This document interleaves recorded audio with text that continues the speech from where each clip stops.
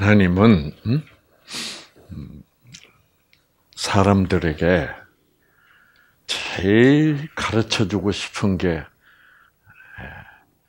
하나님이 조건적 사랑의 하나님이 아니라 무조건적 사랑의 하나님이다. 정말 은혜의 하나님이다. 그거를 가르쳐야만, 그걸 깨닫게 해야만 우리가 믿음을 가질 수 있기 때문입니다. 네. 하나님이 조건적이라면 조건적인 하나님을 대상으로는 우리는 믿음을 믿는다고 하면서도 결국은 무엇에 초점을 맞추게 돼요. 자꾸 내가 얼마나 준비가 됐냐, 내가 얼마나 자격이 됐냐, 내가 정말 하나님의 사랑을 받을 수 있는 구원을 받을 수 있는 자격이 갖춰졌냐. 자꾸 여기에 자꾸 어, 초점을 맞추게 됩니다. 아, 하나님은 어, 어, 모든 구원이 모든 사람의 구원이 정말 그 사람의 자격이나 얼마나 조건을 잘 갖췄냐에 아무런 상관이 없이 오직 뭐예요? 아, 그 하나님은 내가 이렇게 자격이 없어도 어, 아무 조건을 갖추지 못해도 나를 내가 나를 사랑하시기 때문에 내가 이 상태로 있는 것이 예, 불쌍하기 때문에 예, 예, 그래서 구원하신다라는 믿음을 가질 수가 있잖아요. 그렇죠. 그래서 하나님이 조건적인 사랑의 하나님이 아니라 무조건적 사랑의 하나님인 것을 구체적으로 아, 가르치기 위해서는 결국은 나는 너희들로부터 섬김을 받으려고 여기 온 것이 아니다. 너희들을 섬기려고 왔다. 아, 는 것을 확실히 해야 되신다 이거죠. 아, 그래서 아, 참 사도 바울도 그렇고 예, 예수님 자신도 어, 내가 아, 아, 섬기러 왔지 섬김을 받으러 온 것이 아니다라는 것을 계속 강조하고 있는 거죠. 음. 자, 그래서 어, 이제 구약 성경에는 어, 신약 성경 예수님 자신 사도 바울 지금 구약 성경에는 어, 지난 시간에 잠깐 들여다본 그 다윗을 통하여 아, 어, 여호와는 나의 목자시니 여호와는 나의 종이시니 내가 부족함이 없다 라고 이제 말하는 자, 이것이 이제 여호와가 하나님이 나를 섬기시는 분이지 분이다는 것을 이제 나타내기 위하여 2절 나를 푸른 초장에 누이시며 실만한 물가로 인도하시는도다. 결국 어, 목자이신 나의 하나님은 어, 양인 나를 이렇게 섬기신다라고 이제 표현하고 있습니다. 그 다음에 이제 아, 또 다른 방법으로 또 다른 표현으로 아, 다른 표현으로 아, 그 하나님이 하나님은 부조건적 사랑의 하나님이다 라고 표현하는 그 참으로 강력한 무조건적 사랑의 표현이 바로 여기에 4절에 있습니다. 4절 음. 한번 읽어 보십시다. 내가, 내가, 음? 내가, 어? 내가란 건 뭐예요? 내가 여기 보면 나의 선택으로 이런 말입니다. 네. 내가 사망의 음침한 골짜기로 다닐지라도 누가 다녀요? 내가 다 내가 들어갔다 이 말이에요. 내가 어디로 들어갔어? 사망의 음침한 골짜기로 들어갔다. 이 사망의 음침한 골짜기라는 말은 간단하게 얘기하면 뭐예요?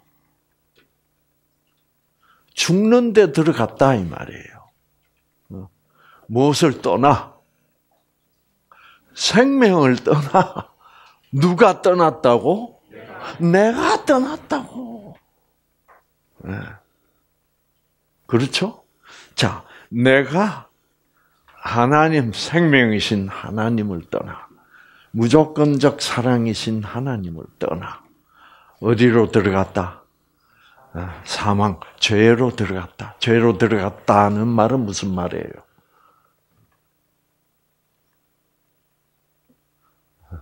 자, 대답 다 나왔잖아. 그렇죠. 또 다시 조건적 사랑의 하나님을 내가 나 음, 내가 섬기고 있을지라도 제가 여러분 매번 계속 이 무조건적 사랑의 하나님이라고 강조를 하고 있습니다. 왜 이렇게 매 시간마다 똑같은 소리를 할까요? 아무리 해도 여러분이 여러분은 곧 조건적으로 어떻게 휙 돌아가기 때문에. 그래서 철저 철저하게 이거를 강조하고 또 강조하고 또 강조하고. 그래서 이 정도 강조를 해놔야 여러분이 아, 어 내가 또 조건적으로 돌아간 게 아니냐 하는 그런 어, 어, 이제 생각을 어, 성령께서 그렇게 알려주실 때 여러분이 아 그러네 또 조건적으로 생각하고 있네 라고 이제 그렇게 느끼는 그 깨달을 수가 있습니다. 자, 내가 사망에 내가 다닐지라도 어디를 다닐지라도 사망의 음침한 골짜기로 다닐지라도 자 여기 보면 해를 두려워하지 않을 것. 다른 번역을 한번 봅시다.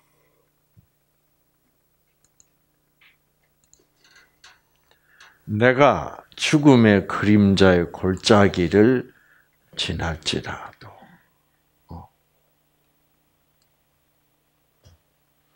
자 이제 죽음의 골짜기를 지날지라도 사망의 음침한 골짜기를 죽음의 골짜기로. 자 여기는 악을 두려워하지 않으리니라고 번역했습니다. 아, 킹 제임스를 한번 보죠. 자, 아, 사망의 엄청 골짜기는 맞고, 아, I will fear no evil. 예, 악을 악을 두려워하지 않겠다는 번역이 맞는 것 같아요. 음. 아, 자, 어, 지금 이 사망의 음침한 골짜기를 다닌다. 는 말은 또 조금 더 구체적으로 어, 얘기를 하면 내가 지금 아, 아, 막 사단이 나를 어떻게 막 유혹을 해. 그렇죠. 그리고 나에게 시험을 줘서 막 힘들게. 예. 그래서 내 마음이 뭐예요? 왔다 갔다. 아, 흔들리고. 그런 경우도 생각할 수 있습니다. 어, 누가 이 악의 세력이 나를 어떻게 막 흔들어댄다. 그렇지만 나는 그 악을 두려워하지 않는다. 왜? 내가 이 사망의 엄침한 골짜기를 다닐지라도 하나님의 사랑은 변하지 않는다. 아, 자, 여러분, 그래서 여기서 이건 이제 시험을 받는 경우를 뜻하고 있는 것 같아요. 네. 네. 자, 여기 보면 우리가 이 장면을 한번 보십시다. 베, 베드로가 베드로가 사망의 음침한 골짜기를 자기가 다녔을까? 그런 일이 있어요? 네, 그런 일이 있죠. 네. 아, 한번 봅시다. 네. 베드로가 시험을 받은 일이 있습니다. 그렇죠? 어. 자, 제가 아, 베드로가 시험을 받았다라고 할 때 누가 베드로를 시험했어요? 네. 누가? 음. 자꾸 사람들이 하나님이 어, 우리 인간을 시험한다고 자꾸 생각을 해요. 그런데 어. 어, 이제 그 그렇게 생각하는 이유가 있어요. 왜냐하면은 구약 성경 창세기 22장 딱 보면 하나님이 아브라함을 시험하여 이렇게 나옵니다. 그래서 너희 너희 아들 이삭을 바칠래 안 바칠래? 그거를 하나님이 주시는 시험으로 왜 생각해? 왜? 성경에 구약 성경에 그렇게 써놨으니까. 아, 여러분. 근데 그런 식으로 어, 구약 성경에 써놓은 것이 참 많습니다. 네. 근데 그 써놓은 대로만 생각하면 하나님이 전부 조건적이 돼버립니다. 아시겠죠? 어, 자, 진짜 하나님이 아브라함을 어, 이삭을 갖다 바치는 만큼 충성을 하는지 안 하는지 시험을 하시겠다면, 어, 그래서 충성하면 붙여주고 충성 안 하면 뭐예요? 자르시는 그런 분이라고 생각한다면 그 하나님은 결국 어떤 하나님이요? 조건적 하나님. 그러니까 거의 대부분의 사람들이 다 조건적으로 하나님을 오해하고 있다 이 말이에요.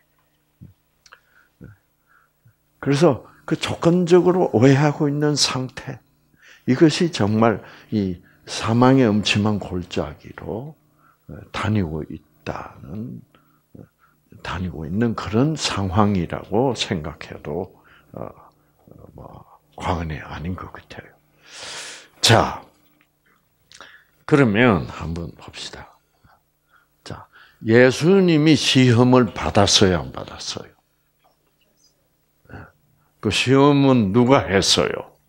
사단이 했어요. 베드로도 시험을 누가 했어요? 베드로가 예수님을 부인했습니다. 나는 그런 사람 모른다. 그 예수 하나님이 베드로 보고 하나님이 모른다라고 나는 하나님 몰라라고 시험했겠습니까? 그건 아니죠. 사단이. 그리고 성경도 분명히 예, 사단이 베드로를 시험하기 위하여 뭐 하기 위하 시험을 그때는 뭐라고 썼냐면 밀가부르듯 하려고 네. 시험했다고 분명히 얘기하고 있습니다. 자, 그래서 한번 봅시다. 마태복음 4장 자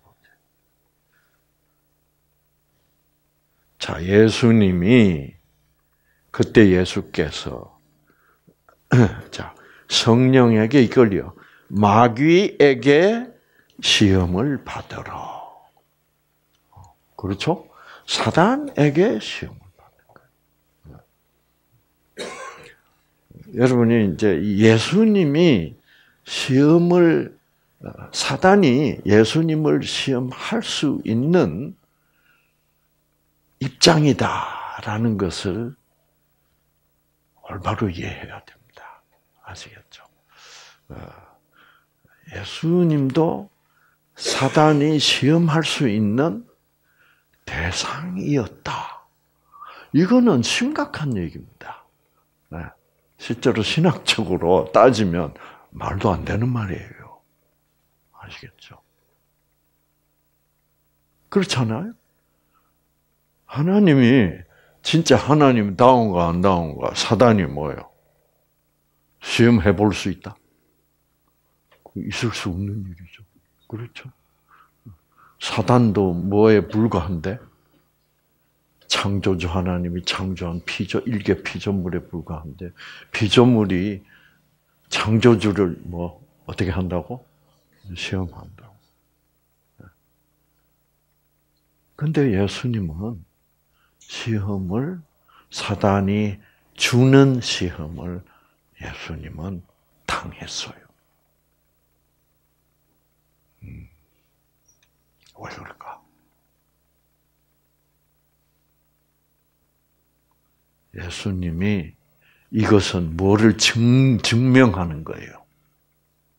예수님이 우리 인간의 차원까지 죄 없으신 분인데도 불구하고 우리 인간의 차원까지 사단의 유혹으로 말미암아 이렇게 지금 타락해 있는 변질되어 있는 우리 차원까지 어떻게 내려오신 분이다. 라는 것을 증명하는 거예요. 그래야만 우리 예수님이 진짜 누구를 위하여? 우리 죄인을 위하여. 이거 참 심각한 얘기고 이것은 정말 어, 어떻게 보면 은혜로운 얘기예요.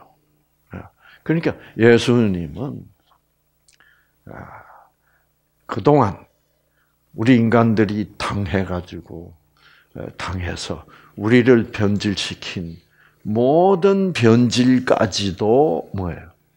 벌써 가지고 계신 분이다.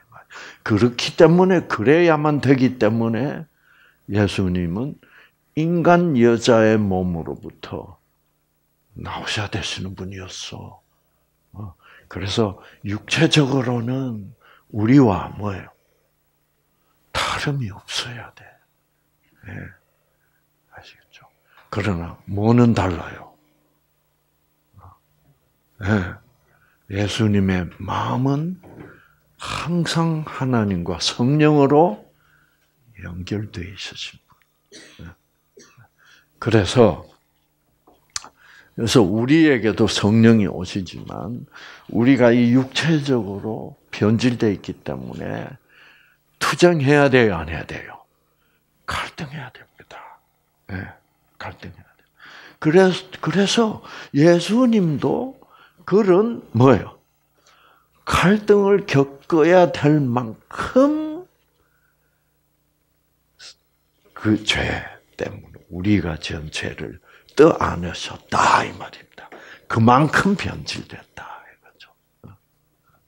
그래서 아, 하나님은 뭐 안 먹어도 괜찮아. 근데 여기 보면 예수님이 뭐예요? 40일을 금식해서 금식하신 후에 뭐예요? 줄이신지라. 예수님도 배고파 안 고파요? 예, 봐요. 아, 그래서 그때 드디어 40일 금식하고 약할 대로 약해져 있는 그때 누가 왔다? 시험하는 자가 왔다. 그래서 성경은 사단의 별명을 뭐라고 불러요? 시험하는 자라고 불러요. 시험하는 자. 또 사단의 별명이 또 따로 있습니다. 고린도전서 10장을 보면 멸망시키는 자, 멸망시키는 자. 영어로는 destroyer라고 부릅니다. 그래서 그 시험하는 자.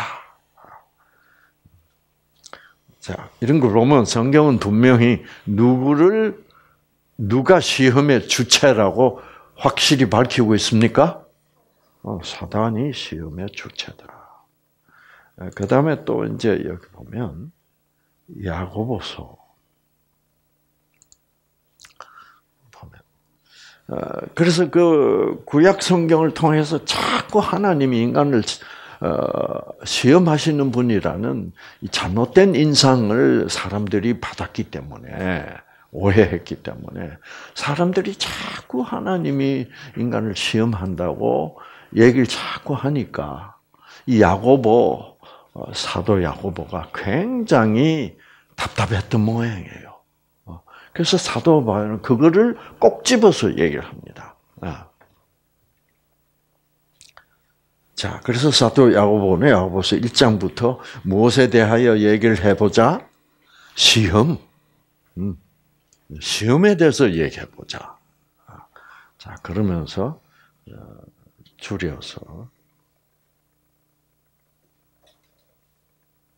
자, 사람이 시험을 받을 때 내가 하나님께 시험을 받는다 하지 마라. 그래서 이제 어떤 분들은 아 여기서 시험이라는 단어하고 어, 저기 아까 그 예수님 시험 받을 시험이라는 그것이 다르다. 아 근데 사실 다른 거 아니에요. 오늘은 똑같은 단어예요. 예. 어, 그래서 어, 자, 시험 받는다고 하지 말지니 하나님은 누구에게 악에게 시험을 받지도 아니하시고 음. 이거 보면 그래서 여러분 성경은 참 조심해서 어, 잘 읽어야 됩니다. 아. 자, 예수님은 사단으로부터 광야에서 시험을 사단이 예수님께 시험을 했어요, 안 했어요? 했어요. 그래서 우리 말이 조금 이, 이, 이 부분에서 애매합니다. 뭐가 애매냐면 시험하는 자는 사단이다. 그 시험하는 자 사단이 예수님을 시험했다. 그러나 예수님은 예수님을 예수님은 그 사단이 주는 시험을 받아들이지 않고 극복했다. 성령으로. 이렇게 이해를 해야 된다 이 말이에요. 어. 자, 그러나 우리 인간은 사단이 시험을 주면 자꾸 어떻게 널름널름 받아들인다 이 말이에요. 자 유혹을 하면 널름널름 받아들여. 어. 암 환자, 암 환자가 잘 나가다가 아 이 통증이 또 도져. 그러면 사단이 뭐라고 속삭여요? 너는 안 낫는 거야. 너는 네가 뭐 하나님을 잘 믿냐? 너는 안 돼. 라고 어, 내가 그동안 가지고 있던 하나님에 대한 믿음, 신뢰를 어떻게 자꾸 믿음이 떨어지도록 사단은 시험한다 이 말이에요. 아시겠죠? 예. 네. 그래서 이 아, 자 예수님은 사단이 자기에게 시험을 줬으나 예수님은 그 시험을 아, 받기를 어떻게 거부했습니다. 이 돌들로 떡을 만들어 봐라. 음. 예수님은 뭐라 그래요? 어. 어. 그거 하러 내가 이 땅에 온 것이 아니야. 내가 어? 돌을 떡으로 탁 만들어 가지고 봐, 내가 이런 거 이런 거 할 수 있으니까 나는 하나님의 아들이야. 그런 쇼하러 온 게 아니다. 그냥 사단은 뭐, 하, 뭐 해보라는 거예요? 쇼 해보라는 거. 아시겠죠? 그 예수님 뭐라 그래요? 나는 그런 쇼 하러 온 게 아니고, 응? 아, 그런 떡, 그런 떡이 중요한 게 아니고, 무슨 떡이 중요하다? 생명의 떡. 네. 나는 말씀의 떡을 주러 온 사람이고, 누가 그 말씀의 떡이다? 내가, 내가, 예수님이 나는 생명의 떡이라고 그랬습니다. 내가 떡인데 돌 가지고 떡 만들면 뭐하냐? 나는 내가 이 세상 죄인들에게 생명을 주는 생명의 떡임을 떡으로서 왔다. 그러니까 그런 쇼 필요 뭐요? 없다. 그래서 사단은 어, 시험을 해서 유혹을 하려 그래. 왜 예수님은 뭐요? 탁돌 가지고 떡탁 만들면 사람들이 뭐요? 와, 응, 저 예수만 따라가면 밥 굶을 일이. 그렇게 되면 사람들이 예수님을 어떻게 하는 거예요? 오해하는 거야. 아, 우리한테 떡 주러 온 사람이구나. 그럼 생명은 잊어버리는 거죠. 사단은 항상 생명을 잊어버리게 합니다. 자, 그래 놓고 예수님 만약 떡 만들었다. 그럼 어떻게 되는 거예요? 여러분, 사단도 집행이를 뭐로 만들 수 있어요? 뱀을 만들 수 있어. 그 레벨은 그 레벨은 누가 똑같아?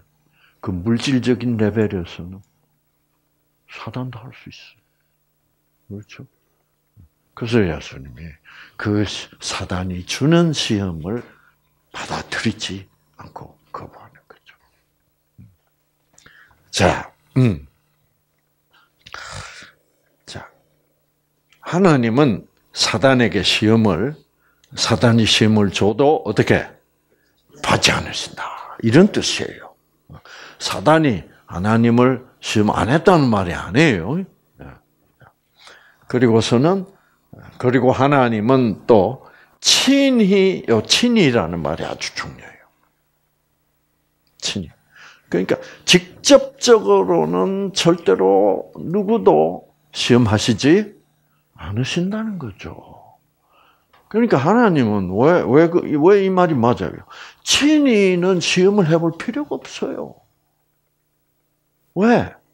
시험 해보나 안, 안 해보나 하나님은 이미 다 뭐예요? 알고 계시는데 뭘 시험을 해? 그래서 친이는 시험 안 거죠. 그래서 이 친이란 말이 아주 중요해요.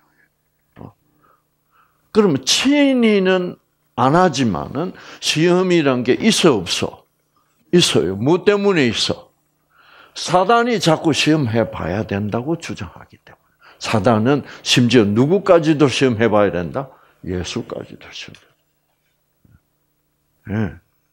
그래서 사단은 베드로를 지목해서 베드로를 시험해 보겠다라고 예수님에게 뭐, 하, 뭐 한다? 청구라고 번역이 되어 있습니다. 우리 개혁 성경에는 아, 그거는 아, 아, 영어로 하면 desire. 사단이 너를 너를 욕심을 낸다. 사단이 그렇게 원한다. 사단이 요청한다. 이제 이런 뜻입니다. 예.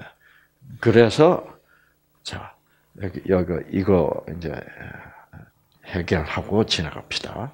그래서 친히 하나님은 직접적으로는 아무도 하나님 그러니까 하나님은 하나님이 원해서 어떤 인간을 직접적으로 친히 시험해 보는 것은 뭐야? 해볼 필요 없다.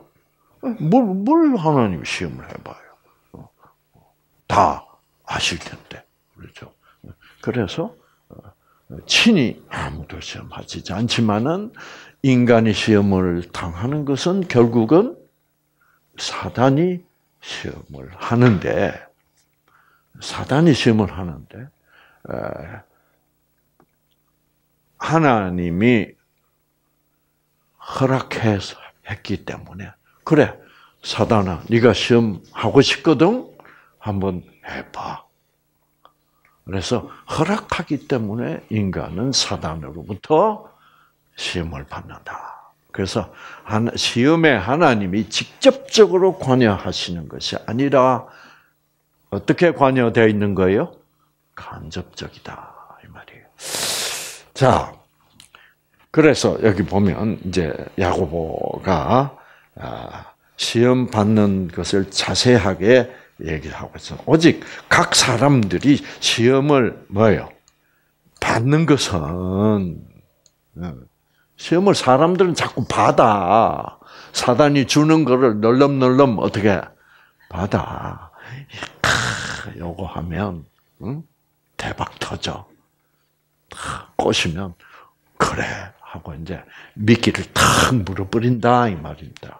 시험을 받는 것은 무엇에 끌려서 그 미혹돼? 자기 욕심에 끌려.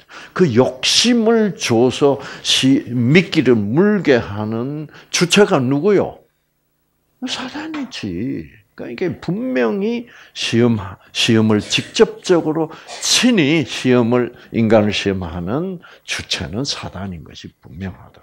자, 욕심에 끌려 미혹됨이니 그 욕심이 잉태한 적 죄를 낳고 그래서 욕심이 너무 많이 나서 어, 내가 요요 요 한 번만 거짓말하면 뭐예요? 대박이 터져. 그래서 그래서 죄를 낳고 거짓말을 하게 되고 예, 그 거짓말이 창성한 적 뭐예요? 예? 예. 이제 예. 들통이 나가지고 조사를 받게 되고 검찰청에 불려가고 그러다 보니 스트레스를 받아서 뭐예요? 유전자 다 꺼지고 그래서 병이 나는 것이다. 이제 이렇게 설명하고 있습니다. 그러니까 내 사랑하는 형제들아 속지 말라. 무엇에 속지 말라는 말입니까? 그 사단이 유혹할 때 속지 말라. 너희들이 자꾸 속으니까 사단이 하는 유혹, 유혹, 그 시험을 결국 받게 되잖아. 속지 말라. 어, 안 속으려면 어떻게 해야 돼요? 어, 어, 기도해야지. 기도하면 아, 내가 속는지 안 속는지 알려면 누가 얘기를 해줘야 돼? 그렇죠, 성령. 그래서 기도하면서 하나님은 하나님의 생각은 어떠십니까? 라고 내가 물어봐야 돼.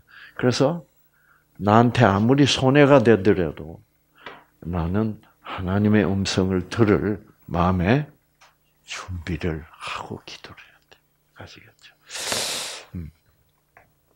그래서 속지 마라. 어? 예. 그리고 또 예, 하나님이 직접 인간들을 시험한다는 말에도 속지 마라.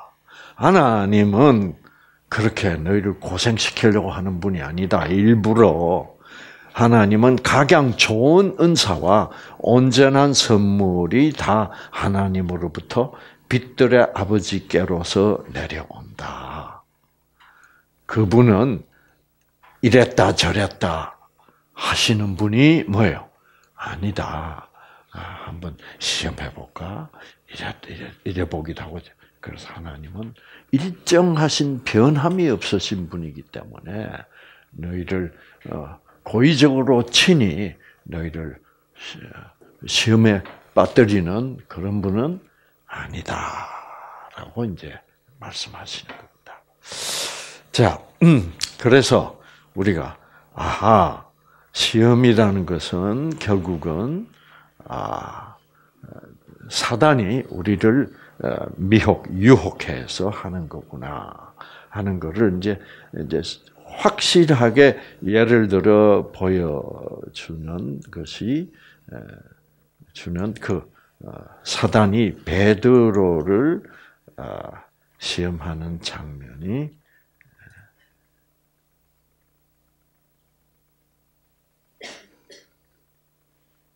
자 예수님이 이제 베드로 보고 이렇게 얘기합니다. 시모나, 시모나. 참, 어, 베드로인데, 베드로 이름 베드로인데, 에, 에, 참, 이, 이 시몬이라는 것은 베드로의 그 참, 어, 베드로가 어릴 때 베드로 엄마가 부르던 그런 이름이라 아시겠죠? 그러니까 예수님이 베드로야 베드로야 그러지 않고 뭐라 그래? 참 친자식 어린아이 다루듯이 예, 시몬아 시몬아 음. 보라 누가 사단이 너를 밀 가부르듯 하려고 너희 너를 어떻게 청구했다. 그죠? 다른 번역을 한번 봅시다. 시모나 시모나 보라 사단이 너를 밀처럼 키질하려고 찾았느니라. 이렇게 또 찾았다고 번역을 했네요. 여기는 뭐라 그러나? 제멋 좀 곤란해. 사단이 밀처럼 체질하려고 너를 뭐예요? 요구하였다. 영어 성경으로는 아, 아 desire입니다. 그러니까 요, desire는 요구했다, 청구했다, 다 그런 말입니다.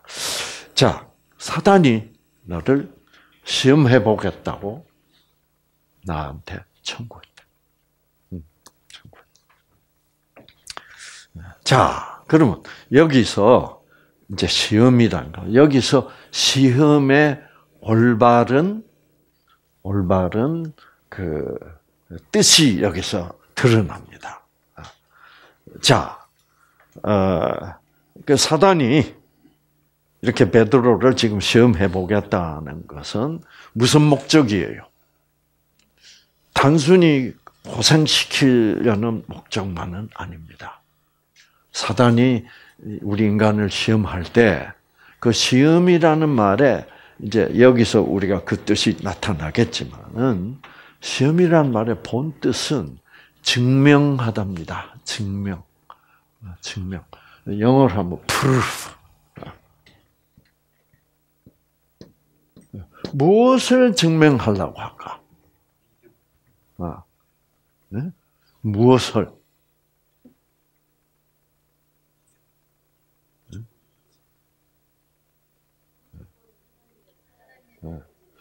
자, 예, 뭐 무조건적 사랑의 하나님으로 믿고 있느냐, 믿음을 갖고 있느냐, 다, 다 어, 맞는 맞는 대답입니다. 그런데 이제 좀 제일 알기 쉽게 단순하게 표현하면 베드로는 누구냐 이거를 증명하려고 아시겠죠? 아. 베드로는 그 사단이 주장하는 이겁니다.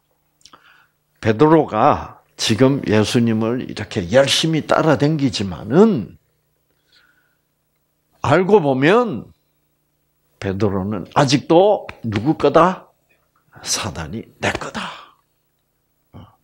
라는 것을 그래서 내가 한번 흔들어 버리면 어, 베드로는 예수님을 어떻게 떠날 것이다.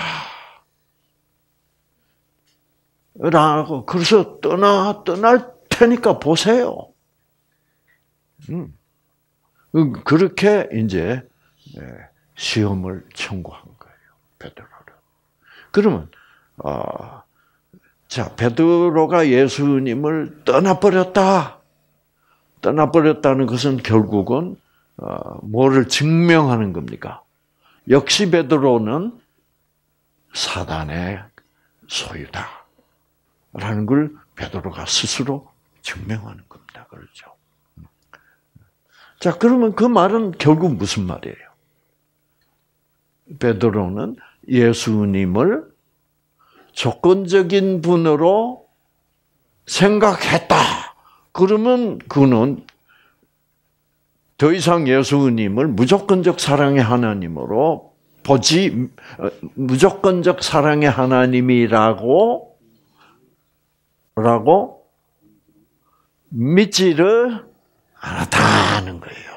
결국 우리의 믿음이란 것은 하나님이 조건적이냐 무조건적이냐를 믿는 겁니다. 아시겠죠? 네. 무조건적인 하나님이라고 믿으면 실수해도 떠나가 안 떠나가? 안 떠난다 이 말입니다. 예. 그래서 베드로가 떠났다면 그거는 베드로는 예수님을 조건적으로 보고 있다는 것을 증명하는 거예요. 예. 예. 자, 맞죠? 그렇죠? 그러니까 여러분, 우리의 믿음이라는 것은 하나님은 무조건적 사랑의 하나님이야. 그것은 나는 절대로 버릴 수가 없어. 그라 이 말입니다. 자, 그래서 보십시다.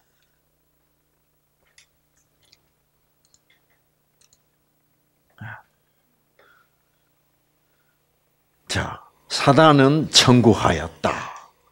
그러나 내가 너를 위하여 내 믿음이 떨어지지 않기를 기도하였노니. 네.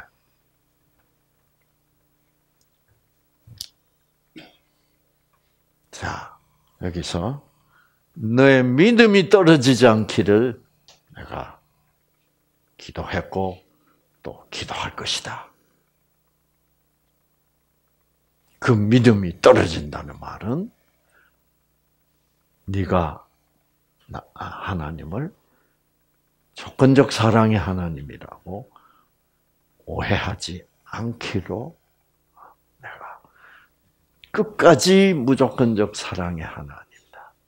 여러분, 끝까지 베드로가 무조건적 사랑의 하나님이라고 베드로가 믿는다면 베드로가 아무리 실수를 해도 사단의 유혹에 빠져서 실패를 해도 아무리 사망의 음침한 골짜기로 다닐지라도 베드로가 예수님을 떠날까요? 왜? 무조건적 사랑이니까. 그래, 내가 또 실수를 했구나. 그러나 그분이 무조건적 사랑의 하나님이시기 때문에 나를 절대로 버리시지 않는 분이야. 그 믿음으로 돌아갈 수 있는 거야. 내가 떠나도. 그렇죠? 그거를 그것이 우리가 앞으로 받을 시험의 그 시험의 가장 핵심 이슈예요. 그게 네, 바로 그겁니다. 아시겠죠? 아, 그래서 아, 그래서 여러분이 이제 성경에 대표적으로 시험을 혹독하게 당했던 사람이 누구예요? 네, 욥. 예.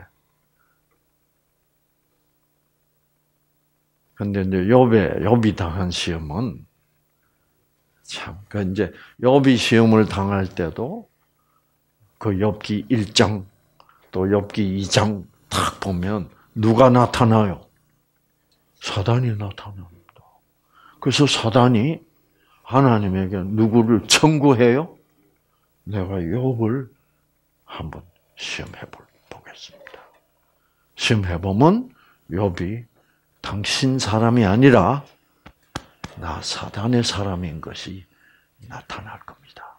나는 그거를 증명하겠다.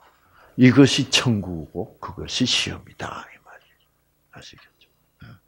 그래서 다 그래서 여러분 시험에 대한 그래서 이 정도 알면 이제 절대로 하나님이 친히 시험하셨다고 얘기하면 안 됩니다. 그러니까 그러니까 이제 창세기 22장으로 돌아가서 하나님이 아브라함을 시험했다는 말을 다시 이 이것에 맞도록 그렇죠. 지금까지 설명한 것에 맞도록 재해석을 해야 된다 이 말이에요. 사실 그렇죠. 하나님이 뭐 아브라함이 예, 하나님이 아브라함이 자기에게 아들을 바칠 만큼 충성할 것인가 안 할 것인가 그걸 잘 모르고 궁금해서 그거를 한번 어, 시험해 보자고 하셨을 리가 없죠.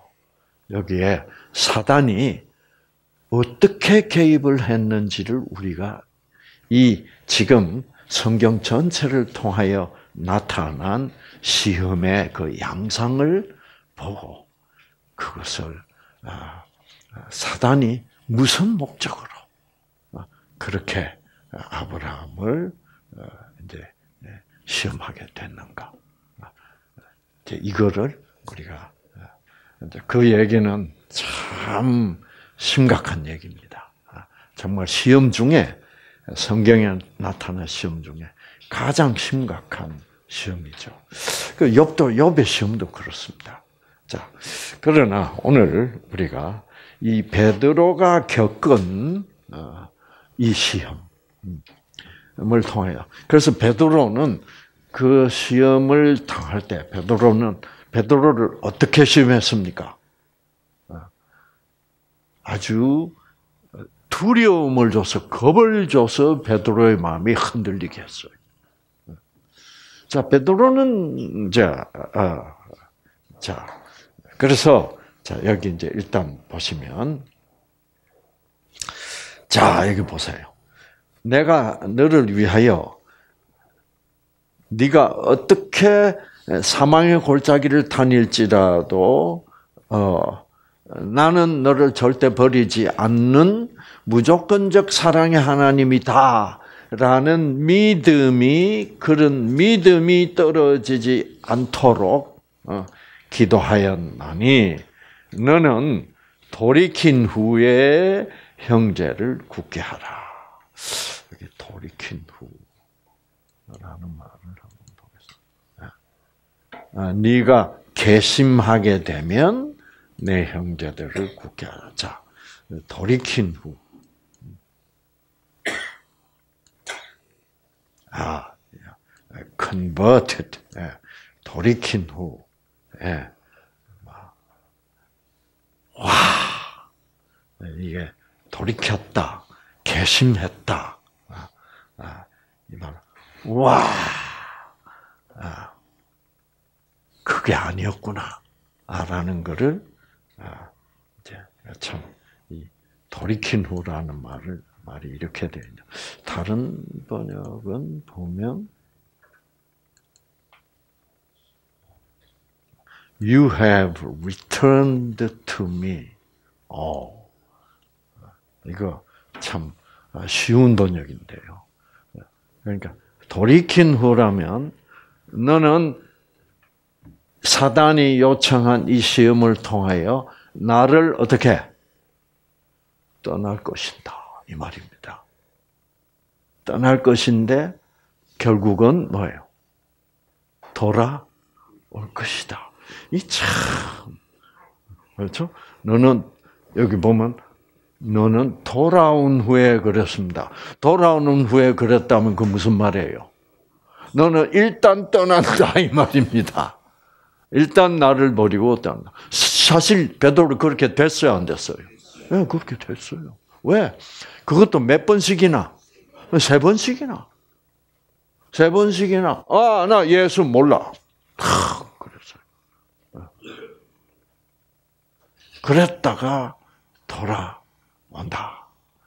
그 말은 이미 예수님이 베드로에게 하는 말의 내용은 뭐예요?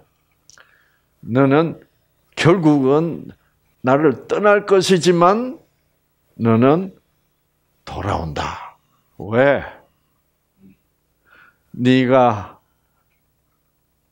하나님을 무조건적 사랑이라는 것을 깨닫게 다시 깨닫게 해서 내가 너를 다시 아, 돌아오게 할 것이다 이 말이에요.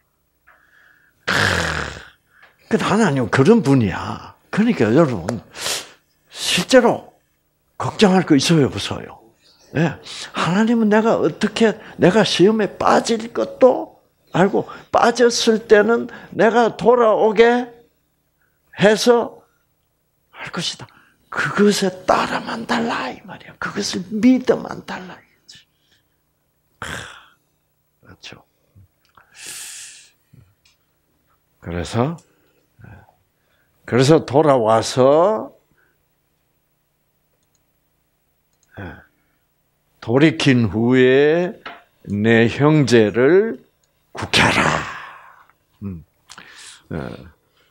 자, 이 말은 네가 너는 아직도 그런 경험이 없다 이 말이에요. 그러니까 세 번씩이나 나는 예수를 모른다. 해가지고 예수님을 떠나버렸어. 그러다가 아 하나님은 내가 이렇게 세 번씩이나 예수님께 등을 돌리고 떠나도 돌아오기를 원하시는 분이구나를 깨닫게 되면 아 하나님은 이만큼 어떤 하나님이구나 무조건적 사랑의 하나님. 그거를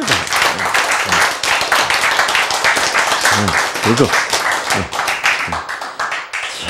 자, 그래서 여러분, 아이고 나는 이 정도면 안 돼. 나는 아무리 기다려도 어, 화끈하게 하나님 만나네. 이, 이 정도가 좀 이래가지고 나는 안 될 것 같아. 그런 사단의 유혹에 빠지지 말라 이거요. 어, 제가 얘기를 잠깐 들어보니까 아, 아, 아, 첫째, 어, 이불을 할 수 있는 모든 조건이 갖춰져 있음에도 불구하고 어, 여기까지만 하고 화끈해지면 또 또 안 되니까 또 뭐요? 여기까지만 연기해서 기다려보자 화끈해지는가? 그거 좀 이상하잖아요. 그렇죠. 우리가 다 그렇단 말이에요. 어. 그런데 그렇게 연기 연기해 가면서 나 정말 화끈하게 하나님을 만나보고 싶어. 라는 마음을 그런 마음을 주신 분이 하나님이다 이 말이에요. 아시겠죠? 응. 벌써 성령의 음성에 이만큼 순응하고 계시다면 여기서 끝나지 말고 한번 만나봐 화끈하게. 아 맞아. 어. 어. 하나님이 이렇게 하고 계신다 이 말이에요. 그렇잖아요. 네. 이게 다 자 그러면 조금 더 남아서 연기해서 이게 하나님의 음성을 들은 것이고 하나님의 음성에 내가 뭐예요? 하는 것이고. 음. 음. 그래서 이제 요것만 딱 바꾸시면 될 것 같아. 예. 예. 그까지만 아니고, 하여튼 내가 정말, 와! 하고 기뻐질 만큼 내가, 내가 모든 내 기도와, 그렇죠. 하나님 말씀을 배우는데 모든 것을 내가 쏟아 부어보자. 이렇게 되는 거예요. 아시겠죠? 어, 어, 어. 자, 어. 자, 그래서 제가 볼 때는 어, 이미 화끈한 하나님이 여기 오셨는데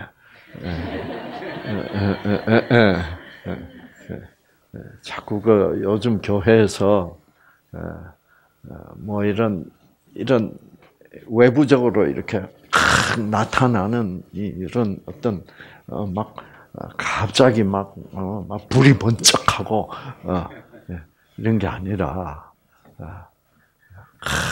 하나님의 말씀이 이렇게 좋은 거구나. 라는 것을 깨달으면 벌써 내부에서는 하나님이 다 유전자를 어떻게 막 켜지고 계신데, 음, 그래서, 아, 네. 언제 오시냐 그러지 말고, 이미, 이미 그 마음을 주신 하나님께 감사하면서 계속 열심히 기도하며 기다리시기를 바랍니다.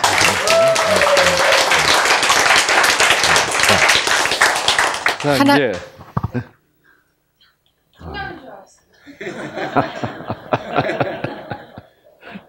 자,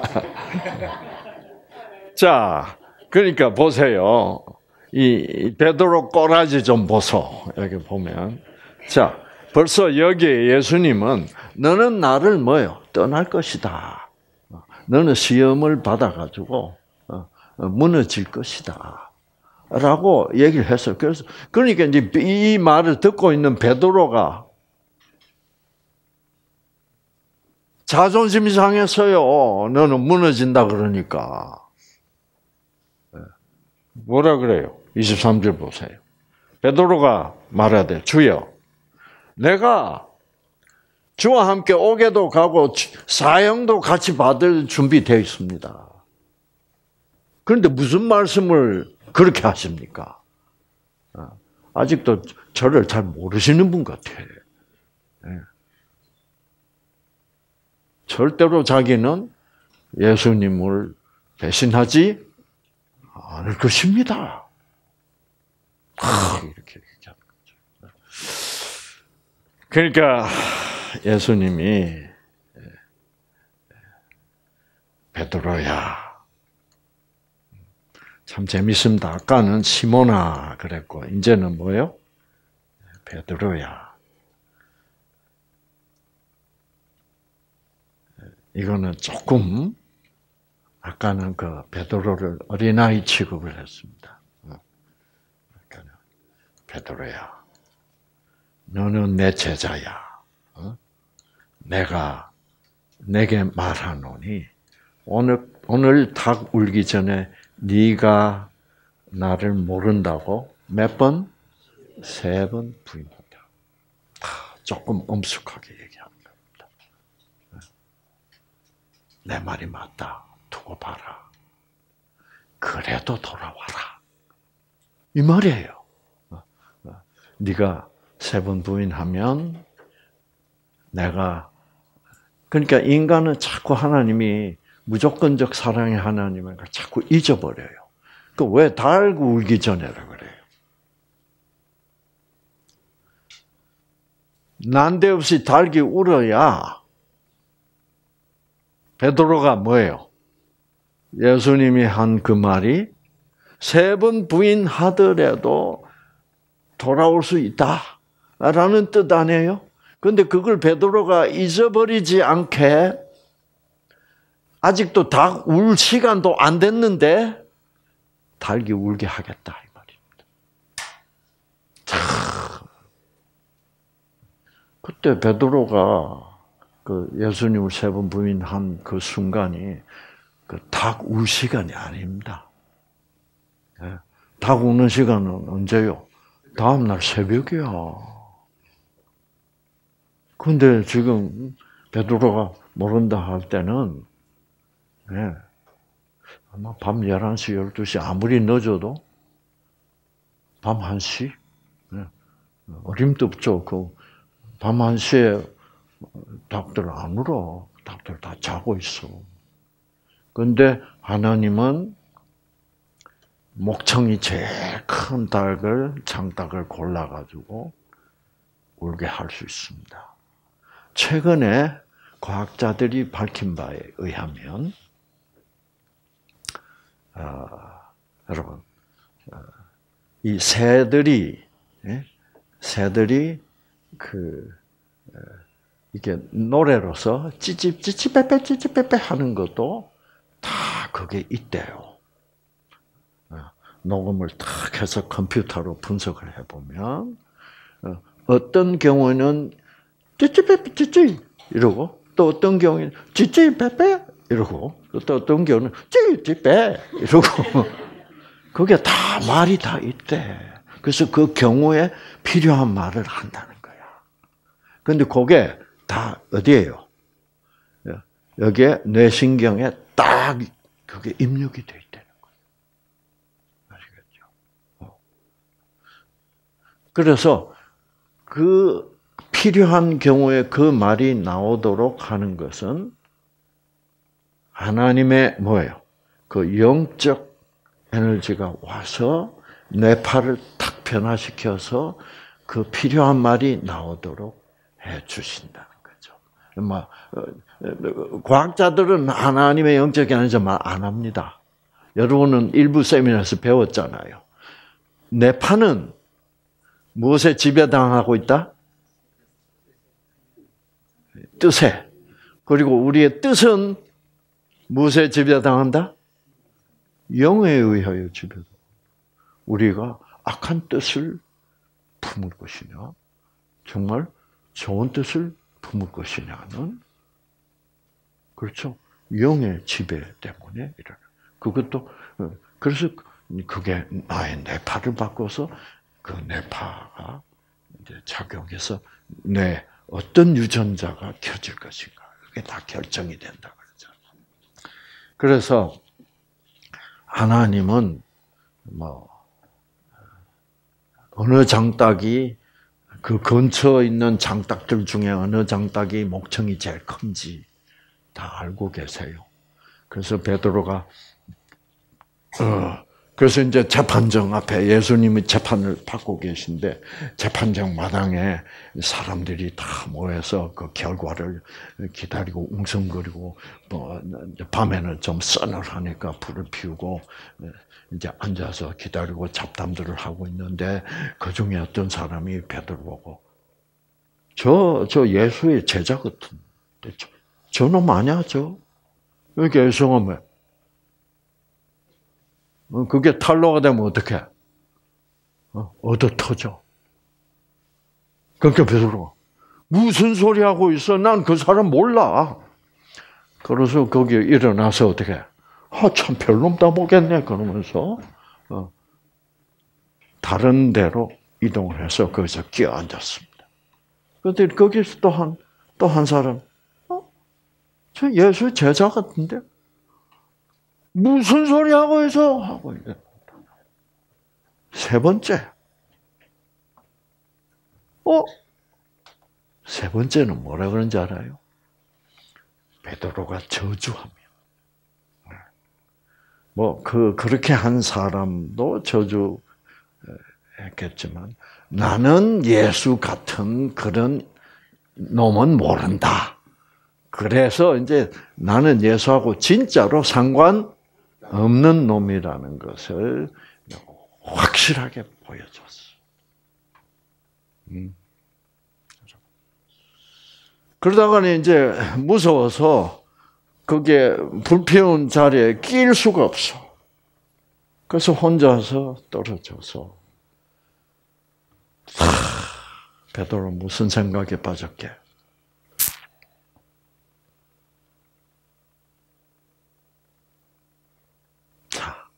이제 나는 끝났구나. 이렇게 세 번씩이나 예수를 저주하면서까지 부인했으니까 예수님이 나를 받아주실 리가 없다. 그 생각이 바로 시험이야. 아시겠죠? 사단이. 너는 이제 예수하고 끝났어. 너는 끝났어. 나는 끝난 거야. 예수가 너 같은 자식을 다시 받아줄 리가 없다.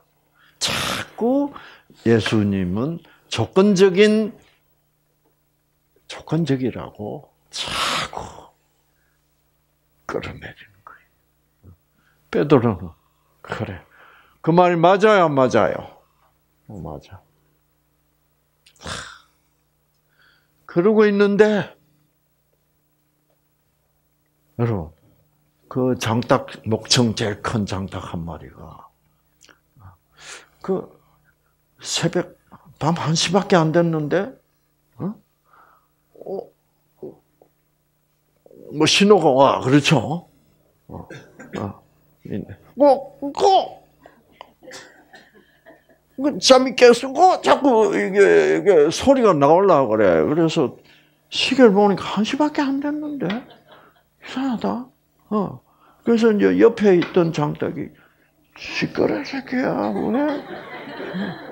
뭐 시간도 안 됐잖아. 어. 그래 나도 이상해. 왜 자꾸 소, 소리가 나올라 그러는지 그래서 아 이제 잘라고 또 어, 어, 새끼 시끄러. 어, 그거야! 했단 말이야. 난데없이 밤 1시에 울려 퍼지는 그 장닭 소리. 그거는 장닭 소리가 아니라 예수님이 베드로야 돌아와야지. 라는 것을 뜻하는 하나님의 소리였다. 참, 여러분. 그렇죠.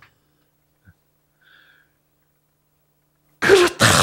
돌아오라고 그랬잖아. 그 나는 너를 그래도 나는 네가 세 번 부인해도 나는 너를 돌아오기를 바래. 너의 믿음이 떨어지지 않기를 내가 기도하고 있을 거야. 그 생각이 뭐예요? 탁 나면서 돌아갈 수 있어. 돌아와서 음, 다시 어? 그 형제들을 어떻게 그런 무조건적 사랑의 하나님을 가르치라 그랬어. 그렇죠. 그래서 그래. 그래도 나는 돌아갈 수 있어. 그럴 때 예수님이 포성에 묶여가지고 이제 이쪽 건물에서 끌려 나올 때 우연히 베드로하고 뭐요? 눈이 탁 마주쳤어요. 그때 예수님 베드로를 어떻게 쳐다봤게? 제가 예수님 같았으면 베드로를 이렇게 쳐다봤을 거예요. 새끼. 근데 예수님은 어떻게 쳐다봤어? 시몬아, 돌아와야지. 아마 예수님이 베드로한테 이랬을 것 같아.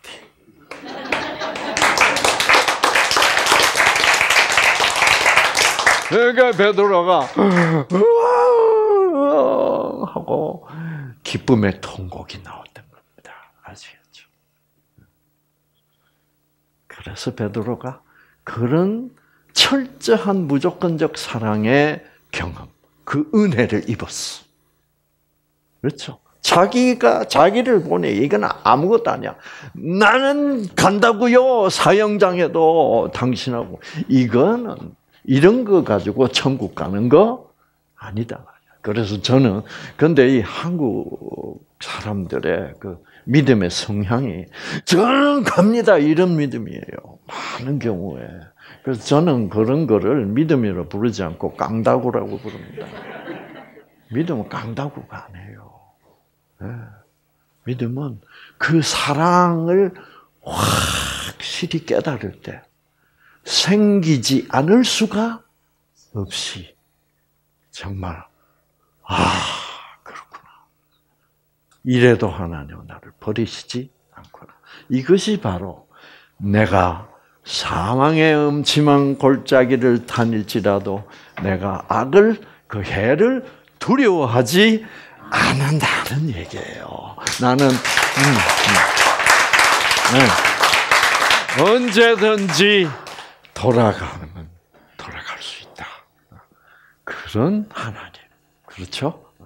그래서 화끈하게 안 느껴지는 게 그 뭐냐면은 성령은 이미 와서 이렇게 말씀을 사모하게 하고 어, 말씀으로 말미암아 기뻐하게 해도 그 동안에 그 오랜 시간 동안에 나에게 내 몸과 마음에 쩔어 있는 게 있어. 그게 뭐게? 조건적 생각. 그것 때문에 화끈이 잘 느껴지지 않아서 그래.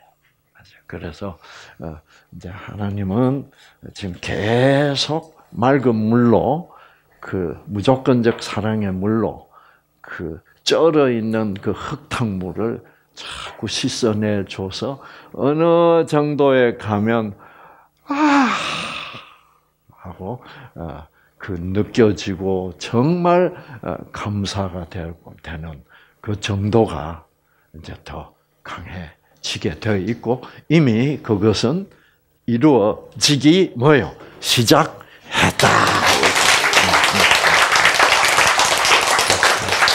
그래서 참, 여러분이 병 걸린 것도 다 사단이 하는 시험이지. 여러분의 그 하나님에 대한 믿음을 떨어뜨리기 위한 시험에 속한 것이지. 하나님이 이 자식은 혼을 좀 내줘야 정신을 차리겠네. 그런 식의 하나님은 아니라는 겁니다. 그래서 내가 사단에 의하여 시험을 받는 그 기회를 하나님은 잘 살리려고 하는 거죠. 기회를. 그래서 하나님은 사단이 시험을 하는 기회를 아, 예, 더 앞으로 이 사단에게 시험을 받고 있는 이 인간을 더 좋은 길로, 더 나은 길로 이끌어 가시려는 중요한 기회로 삼고 계신다는 것을 잊지 마시기 바랍니다. 되겠죠? 네. 하나님, 정말 우리를 무조건적으로 사랑하시는 하나님. 정말 우리가 사망의 음침한 골짜기, 베드로처럼 세 번씩이나 하나님을 아, 배신하고도 그 사망 속에서도 하나님은 계속 우리에게 그래도 나는 나를 포기하지 않는다. 아, 정말 나를 떠나지 마라. 부디 돌아와. 그 음성을 우리가 듣는 그런 사람들이 되게 하여 주시옵소서. 그 사랑 때문에 우리는 결코 하나님을 어떤 경우에서든지 떠날 수 없는 정말 항상 영원히 하나님과 동행하고 싶어 하는 우리 모두가 되게 하시고 그 영원한 사랑, 변치 않는 사랑, 그 무조건적 사랑, 그 은혜 때문에 감사하며 살아가면서 정말 사도 바울이 말한 대로